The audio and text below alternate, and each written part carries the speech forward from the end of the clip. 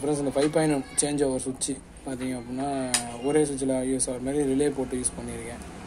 எட்டு பின் ரிலே மூணு யூஸ் பண்ணியிருக்கேன். இது போட்டு. அதே மாதிரி இது பார்த்தீங்க அப்படின்னா சென்டருக்காக ஒரு சர்க்கியூட் ட்ரை பண்ணிக்கிறேன்.